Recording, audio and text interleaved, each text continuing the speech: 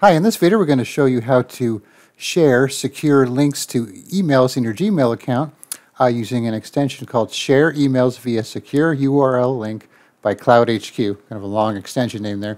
But we've done a lot of videos on the CloudHQ uh, extension, so they have a lot of stuff for Chrome and for Gmail, and it should work for Edge as well. Not sure if it'll work for Firefox or not.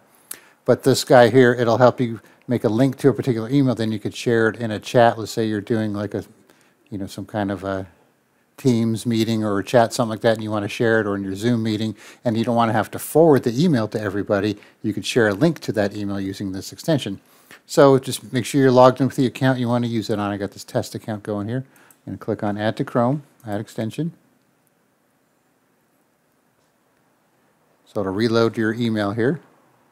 Kind of give you a little overview, which we don't need here.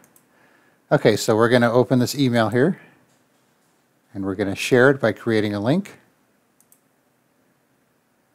So we need to authorize our Gmail account first. So make sure you agree with permissions, obviously, before you use any kind of extension. And if you don't agree, then obviously don't use it.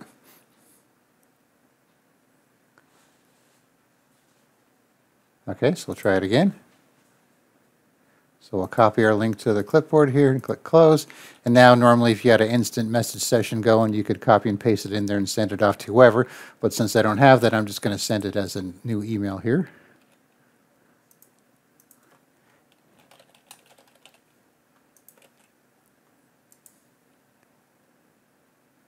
Okay, so now we'll go over to the uh, person we sent it to. Wait for it to show up. All right, there it is. So if we click on the link, now it took us to that email, just like we saw in uh, Gmail.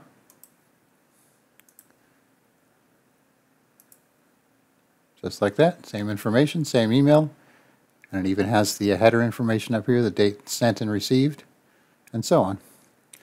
Okay, so I will put a link in the description where you could uh, add this extension, and of course if you don't want it, you could click remove from here, or you could go to your extensions here, and find it in the list right there and remove from Chrome and you'll be back to normal.